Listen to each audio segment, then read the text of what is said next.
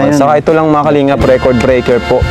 Pinakamaraming nag-sponsor sa pabahay na to. Nasa 900 Yeah. plus thousand or 1 M. 1 million sponsor bro. bro. Isang mapagpalang araw mga kalingap. Maraming salamat sa inyong suporta mga kalingap. Huwag niyo po kalimutang mag-subscribe kay Kuya Val at Kalingap Rab pati sa ating munting channel maraming salamat po.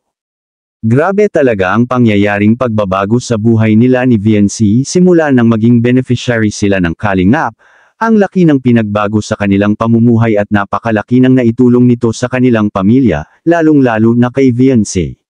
Sa katunayan ay mas lalong dumami ang taga-suporta at sponsor nila ni VNC, lalo na ang EDC fans.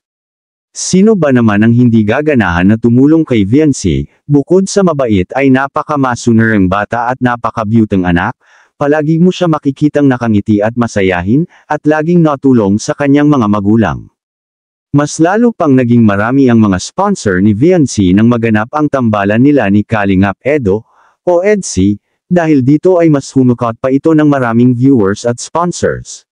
Sa katunayan ay napakarami ng video ni Kalingap Rab kay VNC na umabot ng mahigit sa isang milyon at napakalaki ng naging contribution nito o naitulong sa kay Kalingap Rab, at dahil dito ay mas lalong naging malawak ang Team Kalingap na umabot na sa iba't ibang sulok ng mundo.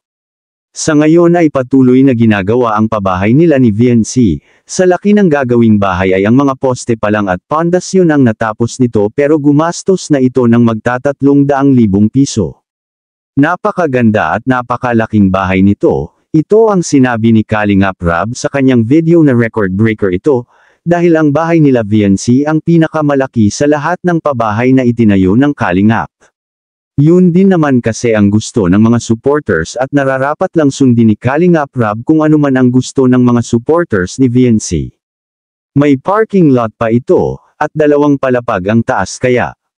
Dapat matibay na matibay ang mga poste at pondasyon nito. Sa ibang bahagi naman mga Kalingap lubos na nagulat si Kalingap Rab nang dumating sila ng Cebu, dahil sa sobrang dami ng mga supporters ng Kalingap Rab, Kuya Val Ate Edna, Jack, at Edsy ay dinumog ng mga fans at nagpa-picture sa kanila. Anong masasabi mo tungkol dito mga Kalingap? I-comment mo lang sa baba ang gusto mong sabihin at ating babasahin isa-isa. Maraming salamat po. To God be the glory.